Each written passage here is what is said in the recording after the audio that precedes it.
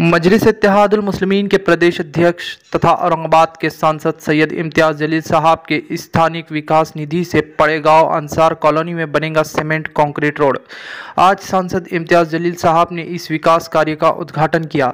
सांसद इम्तियाज़ जलील साहब के इस कार्य से परिसर के नागरिकों में काफ़ी खुशी की लहर देखी जा रही है। सांसद इम्तियाज़ जलील साहब के इस कार्य को स्थानिक लोगों ने शुक्रिया अदा किया। साथ ही आपको बता दें कि बारिश के कारण इस रास्ते में काफ़ी कीचड़ जमा होता था और परिसर के नागरिकों को बारिश के दिनों में बहुत सी परेशानियों का सामना करना पड़ता है। इस कार्य से परिसर के नागरिकों को काफ़ी फ़ायदा पहुँचेगा। यदि आपको हमारा वीडियो पसंद आए तो कृपया हमारे चैनल को सब्सक्राइब करें, हमारे वीडियो को लाइक और शेयर करें। धन्यवाद।